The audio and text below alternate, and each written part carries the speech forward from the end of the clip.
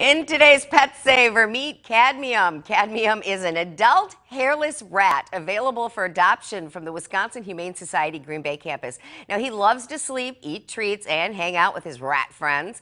His favorite foods are cheese, sunflower seeds, and nuts. He can be shy while adjusting, but once comfortable, he is very confident and will allow a few gentle pets from people. Rats are very intelligent creatures. Cadmium is currently residing in a foster home, so if you'd like to meet him, please contact his foster family at shauna.whs at gmail.com.